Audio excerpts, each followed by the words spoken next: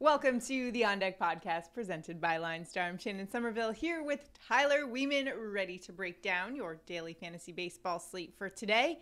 And today, Tyler, it's a Mondo slate. It is a Mondo. Games on deck for today, and we've got a lot of great pitching options Big for you. boy. We'll get to that, and we'll also get to your home run calls and prop bets. Tyler hit his home run call, Mm-hmm. and because it was Austin Riley, Yeah. also hit my prop as well. So we will be announcing a winner later in the show for Yes. our prop bets contest. One lucky commenter will win $60. That'll come up later in the show. Mm-hmm. Today is Friday, September 2nd. Beautiful Friday. It is National College Colors Day. Go dogs. That's all I got to say. Big game Are you guys surprised that came out, Go Dogs? uh, it is the last Friday before NFL season. Eh, We're there. It is also National Blueberry Popsicle Day. Remember when we had this huge debate earlier Mm-hmm. in the season when it was National Ice Pops Day? Yep. So blueberry gets its own day because it's the superior flavor. You were the weirdo who Hmm. I- likes orange. I'm going to have to say no. it is like not a superior flavor. but I would love one right now. sounds sounds nice, nice and refreshing. Yep. Uh, so yeah, dogs have a big game tomorrow. So repping the red. That's not really why I just picked out a red shirt. It just so happened to coincide with. Uh, I do notice you don't have your Padres sweatshirt on. you know, I, I got to bring that up. uh, got- it's I in got my one on. laundry. Your Padres. LFG. All right, if we don't hit our props today, it'll bring. I'll bust it back. You just out. got to always wear it then. I'll break it back. They're gonna be like, "Why is this girl wearing the same shirt every day?" Hey, you got to do what you got to do, right? is it is a big weekend for the Padres. All right. We got the Dodgers, Yeah. you know. Okay. Well, yeah, big uh, weekend for the Yankees as well. We'll get Hey, into that. I'm not mad at you. I'm just disappointed. All right. That makes me feel worse. That's you exactly know, whenever why I the said it. say just Exactly. disappointed, it's like Exactly. Let's get into some MLB storylines for today. And we first have got to talk about that pitching performance yesterday from Spencer Strider, who was absolutely Mm-hmm. filthy, completely masterful in his 16 strikeout performance, which is the most for an Atlanta Brave in history which is just absolutely crazy. Now, he did say that he didn't even know that was going on. He said he kind of lost track of the strikeouts after about six. And then I guess I mean, you can only count so high. Yeah, somebody, somebody said something to him in the dugout about uh, John Smoltz, and he was like, "What are they talking about?" And then I guess after they told him, and pretty cool. It, it's amazing. Like that that game that he had is incredible, and he needs to get some votes for Cy Young. Yeah. I don't, or the over yesterday. Don't think I'll win, The over under was seven, Seven and a half yeah. strikeouts. yeah, he, So he's like, he I'm gonna doubled double it. Yeah, not a big deal. It Would have been nice to just ladder strikeout props with him. Oh yeah. Oh man. So I was curious as to the most strikeouts in the big leagues, and it was Walker Buehler who struck out 16 back in 2019. So that was the last 16 strikeout mm-hmm. performances that we've seen. And speaking of Walker Buehler and the Dodgers, man, mm-hmm. talk about an abundance of riches. Listen to this. Their minor league pitcher, Bobby Miller, who's the 27th overall prospect, struck out a career high 14 strikeouts. Mm-hmm. Granted, it was minor leagues, but uh, they've got even more in their pitching Yeah, arsenal to come. Dustin May is is, back scary. and pitching with him.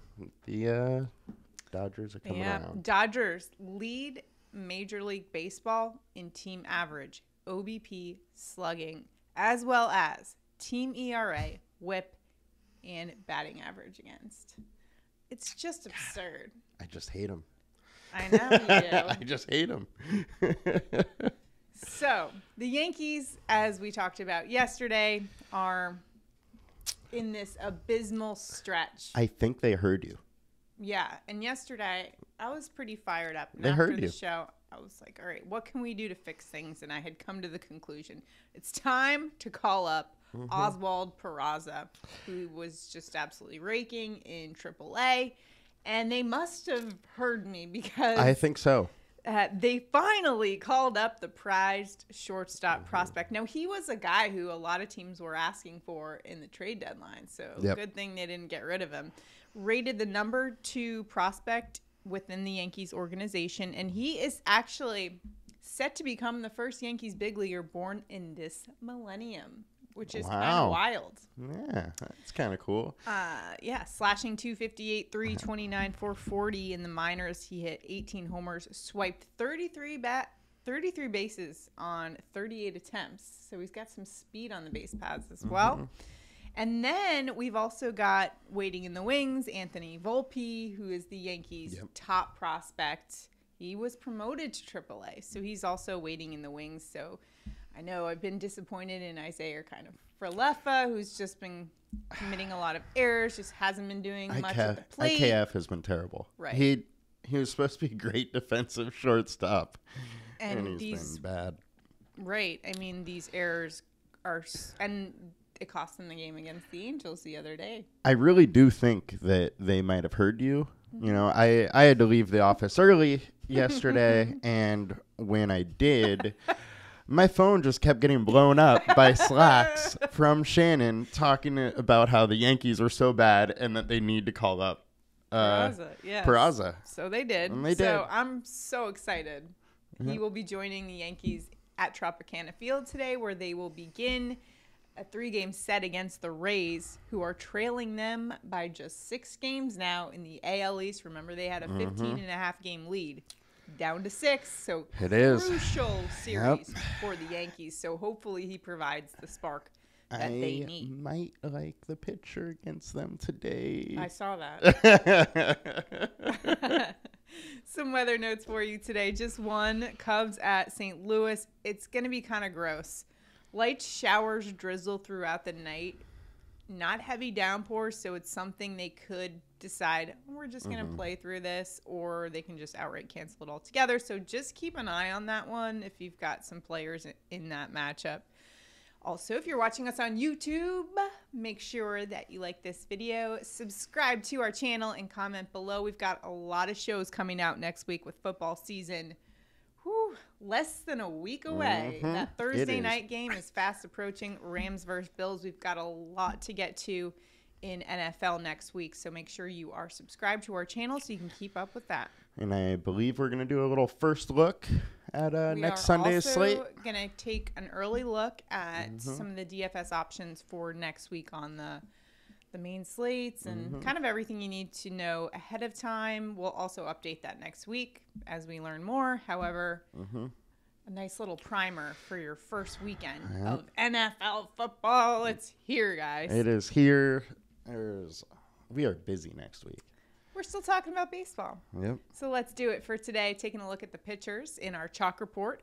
The high owned pitchers for today on DFS. The first one is going to be Braves righty Charlie Morton going up against the Marlins. He's 42% owned on DraftKings, 40% ownership on FanDuel. Man, how do you like to be Charlie Morton today following up yesterday's performance by Spencer Strider? He's had to do it all season though. That's true. I He's it's, got a- it's wild. Yeah, he's got a 4-1 ERA. However, his opponent average is pretty good. 226 there. Last game, four earned runs and five with four strikeouts versus the Cardinals. But over uh, eight strikeouts per game in his last five. So he's gotten up there in the Yeah. strikeouts. So last game against the Cardinals, they're a really good hitting team. The Marlins, however, are not. Absolutely. Uh, you brought up his strikeout numbers. He has been great lately. In the Mm-hmm. last five starts, 34% K rate. so very high K rate. He's maybe learning something from Strider. There you go. uh, the FIP not, you know, it, the FIP's fine. It's 3.65.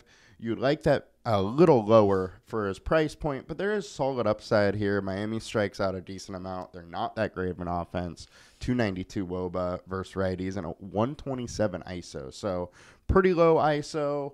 Uh, the bad with Morton though is his Statcast data is a little sketchy. He is allowing a decent amount of barrel balls.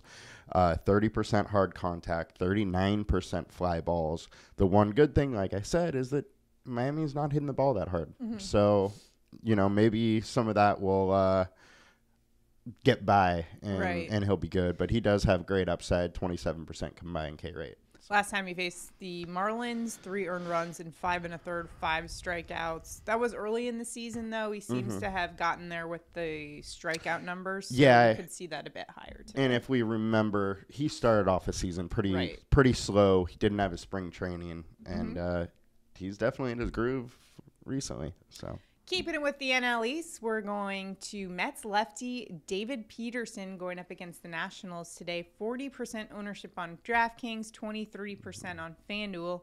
321 ERA, 227 opponent average. Last game held the Rockies to just four hits in six scoreless innings with seven strikeouts. Man, that pitching staff for the Mets.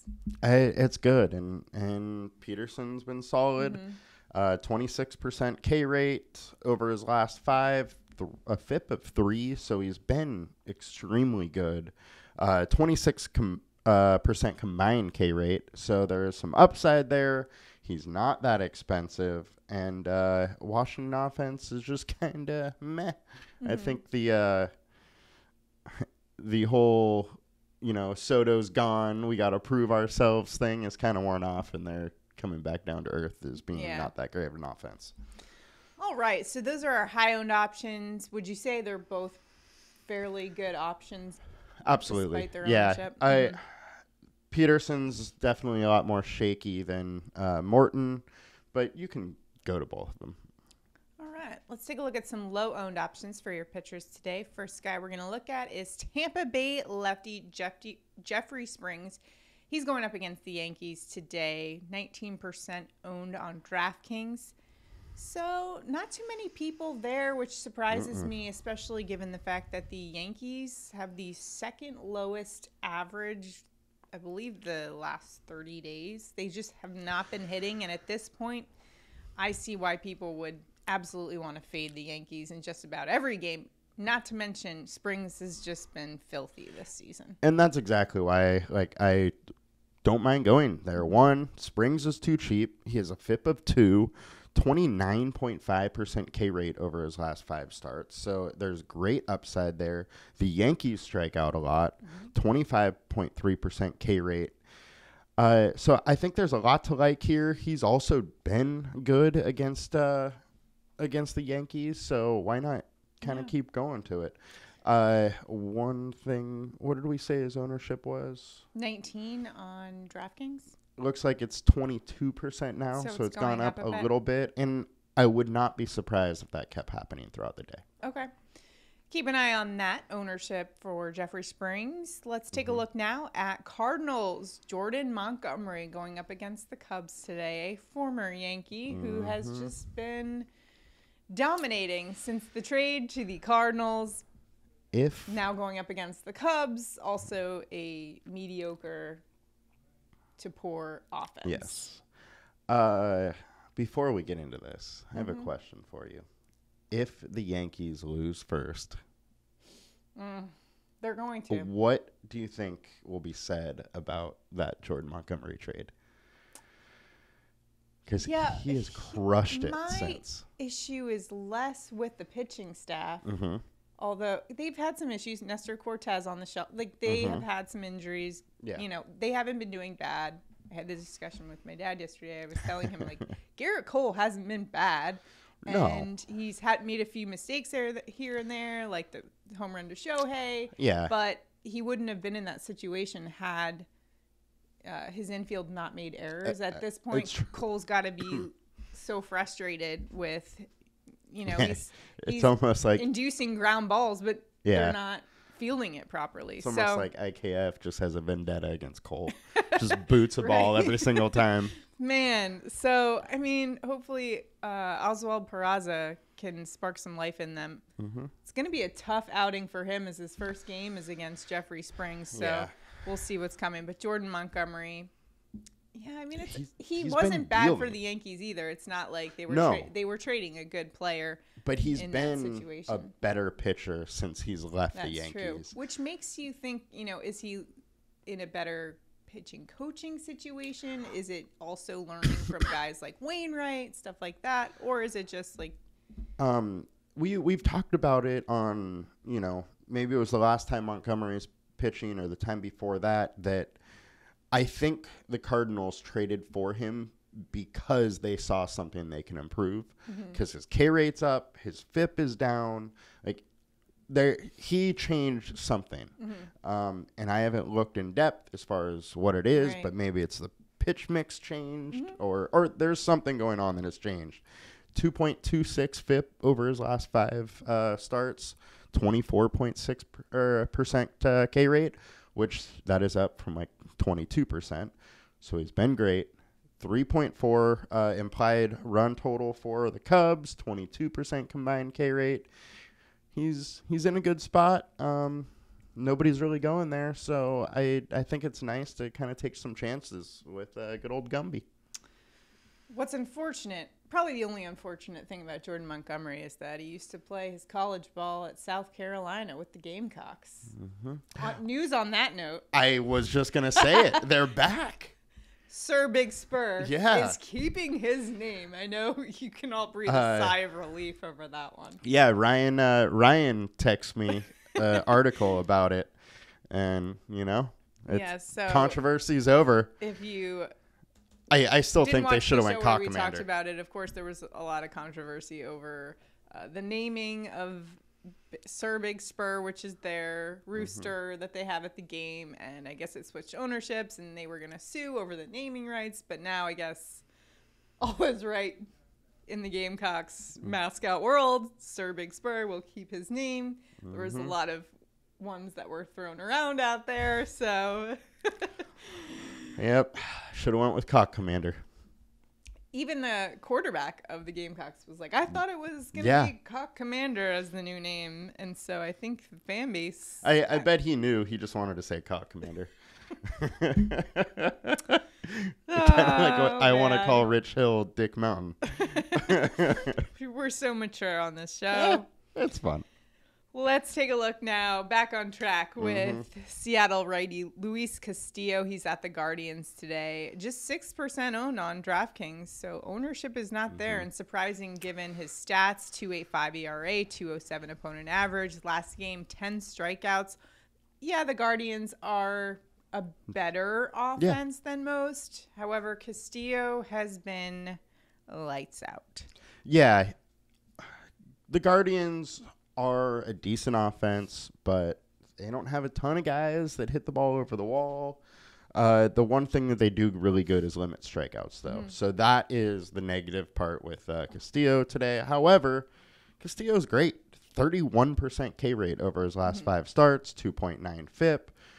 Uh, really, the downside here is the fact that the Guardians uh, have done well to limit strikeouts, and then also against the Guardians in 61 plate attempts, they're hitting 321 off him. So they have had success off uh, Castillo, but I wouldn't be too worried about those BVP numbers. I, I think Castillo's in a good spot, and. He did not have fine. success yesterday against Kyle Bradish. That's for sure. I, I had uh, Jose Ramirez as my home run call, and I believe they only had two hits against Kyle Bradish. He was dealing Yeah, we uh, we talked about that a little bit yesterday. Yeah. How we had that magical game, and I guess he found something. Found it. Yeah. All right. Now let's take a look at our team stacks for today. First, we'll go over where the field is headed, the high owned stacks of the day. First, we're looking at the Boston Red Sox going up against Rangers lefty Dallas Keuchel. Uh, this is his third team this season. Yeah. He started off with White Sox, then went to D backs. Now he's with the Rangers. So it's his third team this season. His numbers overall 884 ERA and 349 opponent average last outing, which was his first for the Rangers. Gave up seven earned runs and five and a third versus the Tigers with just one strikeout.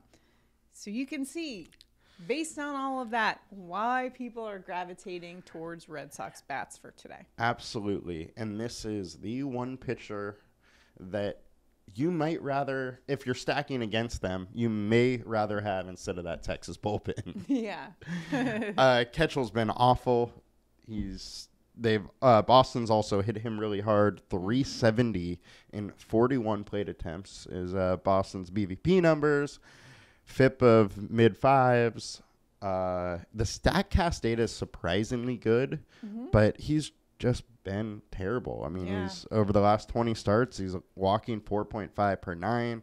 So a ton of guys are getting on the base path, and they're just doing some work. And Vegas has a five implied total. Ton of like about uh, Boston. If Keuchel gets out of the game early too, you have that bullpen, which is terrible. So It's kind of crazy to see. I mean, how far he's come in the other direction from being on the Astros, where he was absolutely totally, totally, a he was an ace at one point for them, I believe, and just yeah. And.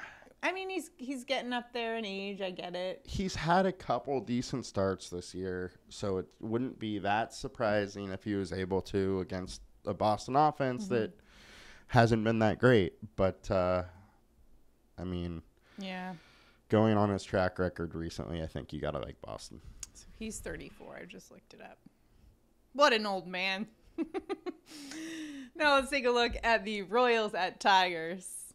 Righty Drew Hutchison on the hill for the Tigers. 401 ERA for him, 260 opponent average. Now he hasn't been bad the last few games and mm-hmm. hasn't given up more than two runs in his last three. However, you know, the Detroit Tigers are middle of the pack, and I believe he doesn't go too deep into games, if I remember correctly from looking at his stats. Are you going with the field on this one? Uh, the KC offense has been pretty good lately. So they have been hot. Hutchison hasn't been good. He uh, he's maxed out right around five innings recently. So we will see a little bit of that bullpen. He's actually averaging forty one percent less fantasy points at home too. So he has been worse at home. He's one of those rare pitchers that just hasn't put it together at home. Um, Statcast wise, some thirty percent hard contact, lots of barrel balls. He's been okay. He just hasn't been great. Um, as far as if I'm going with KC, I don't know. I I think he's been good enough to probably not follow the field here, but uh, KC offense definitely coming around. Now let's take a look at some low owned team stacks. See where we can find a little value. We're going to look at the Astros. They're at the Angels. It's going to be the lefty Reid Detmers on the hill for them. 347 ERA, 217 opponent average. Okay, are you ready for an analogy of Yes, his season that I just kind of thought of? it's, his season's so weird. So it's kind of like Game of Thrones, the series, right? So it starts off, it's Starts everybody's great. great. He has a no hitter. Mm-hmm. Game of Thrones is awesome. And then all of a sudden just falls off. Hey, during, totally. You know, just from the pinnacle of his career Mm-hmm. with the no hitter. And then the ending was just terrible. Then he gets sent back down to the Mm-hmm. minors. So, Yeah, and then.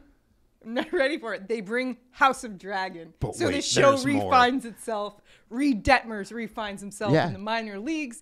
Now he comes back. He's dealing. He did say all he had to do was make an adjustment with his shoulders or something, and since then he's been finding it.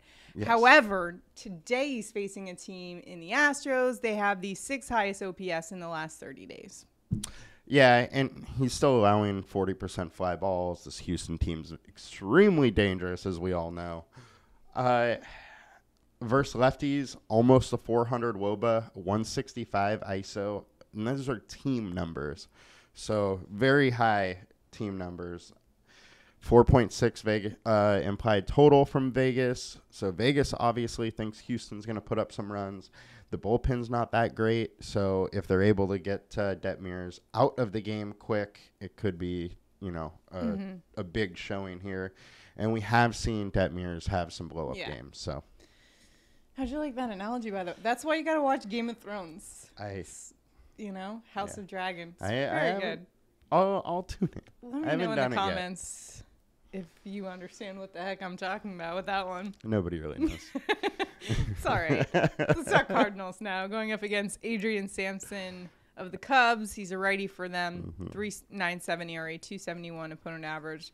Although he hasn't gone past three and a third in his last two starts, and this Cardinals offense, yeah, we know what they're capable of. Yeah, and what's weird is the last start he only went 61 pitches. He only gave up one run. Just they pulled him after 60 pitches. So if we see that again, you're also into that Cubs bullpen a little bit earlier, and St. Louis is just a great offense. 330 woba, 170 ISO, so they hit the ball real hard. Uh, the one thing we do have to say is, you know, just a warning to make sh- to watch the weather on this one. Um, but all in all, this Cardinal offense is great. Sampson's is not great. And uh, anytime I can get that Cardinal offense at a low ownership, I'm intrigued. They're kind of like House Targaryen. or maybe the Dodgers are House Targaryen. I can't I- decide. Gosh, the Dodgers. Okay. Why are the Dodgers so good? They Just are. make it stop. Let's take a look now at our sleeper picks of the day. We are using the LineStar app if you don't have it already. Make sure you lock in your subscription at $19.99. Prices do go up next week for football season to $29.99, so lock it in right now. It's going to help you tremendously in your daily fantasy. It'll also help you out with prop bets as well. We've got a lot of new features that are coming out as well. So make sure to lock that in, linestarapp.com. Now we'll take a look at our sleeper picks of the day. Our sleeper pick of the day on DraftKings is Oakland A's Dermis Garcia. He's going up against Baltimore Orioles. Dean Kremer today. Taking a look at his price, $2,000. Pretty good deal there. Let's take a look further at his uh, player card here, and you can see he's put up some great fantasy points the past few days. He had 18 the other day, 16 two days ago. Now he's got a two and a half star alert. What we do like is he is a top 5% hitter versus righty pitchers with a 257 fantasy points per plate appearance. It is a pretty small sample size there, but he has crushed it. True. Just 38 uh, at bats for him and a 303 average, though. So he's been doing well for the A's. And as you can see, some people in the LineStar community already liking him. We'll give it a like, too. All right. Now let's take a look at our FanDuel sleeper pick of the day is LaMonte Wade Jr. The Giants outfielder will be going up against Phillies Kyle Gibson. He's $2,200 on FanDuel. Taking a look at his player card, he has a projection of 11, uh, basically 11 for today for fantasy points. And could be batting first in the lineup. That's kind of what we're anticipating. Lineups are not out yet. Wind is blowing out to left at 8 miles an hour, and this is a top 25% hitter versus righty pitchers, 2.38 fantasy points per plate appearance. And taking a look at some of his numbers, he's got a pretty high ISO, so mm-hmm. got some power there. So $2,200 for LaMonte Wade Jr. on FanDuel. That's our sleeper pick of the day. There for more value picks and more information and stats to help you dominate in daily fantasy, plus our lineup optimizer. Check out linestarapp.com. Now it's time for our home run calls of the day. Tyler, you hit yours yesterday with Austin Sure Riley, who did. delivered for you. So, who is your home run call for today? I am going with St. Louis Cardinals, Nolan Arenado. He is just absolutely on fire. He is hitting 450 with two home runs over the last week, 360 and eight home runs over the last month. He's four for eight against Sampson with 500 ISO, and I think he's going to go yard today. Uh, this game, there is a little bit of weather question here. If it is canceled, we will uh, tweet out a new home run with my backup call. All right. Well, we'll stay tuned to that game. I am going with Pete Alonso for a bomb today. It's plus 285 on the sports books. This is a righty bat that absolutely crushes righties. He's got a 520 slugging. Today, Alonso is going up against the righty for the Nationals in Josiah Gray, who has the third highest home run per nine rate among all pitchers, minimum 50 innings pitched. He gives up about two home runs per game over his last eight starts, so that bodes well for Alonso. Mm-hmm. Plus, that Nationals bullpen, yeah, they've given up the third most home runs this season. Mm-hmm. Pete Alonso going yard today. We're seeing a polar bear bomb. Let's go, big meat Pete. Let's go. And now it is time for our prop bets of the mm-hmm. day. We hit our props yesterday, which means one lucky commenter from yesterday's show gets $60. That mm-hmm. easy. Who is our winner for today, Tyler? Get some is winning yesterday's prop bet. Please DM us on uh, Twitter or email me, Tyler at betfully.com. well, user get some is getting some cash. Yeah. $60. So let's get some more props. cash, homie. Remember, you can play today's prop contest. All you have to do is like this video, subscribe to our YouTube channel, and comment below.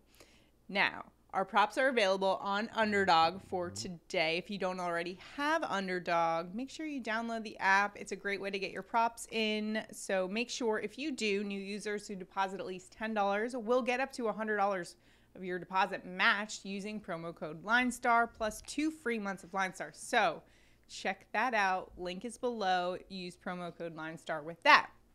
Let's get to our prop bets of the day. Tyler, where are you headed for today's prop? I am going Mark Canha over 0.5 hits. He's hitting 303 versus righties over his last 20 games. He's two for two versus Gray, and he has hit at least one hit in 66% of his games this year and six of the last 10. And I think he's getting another hit today.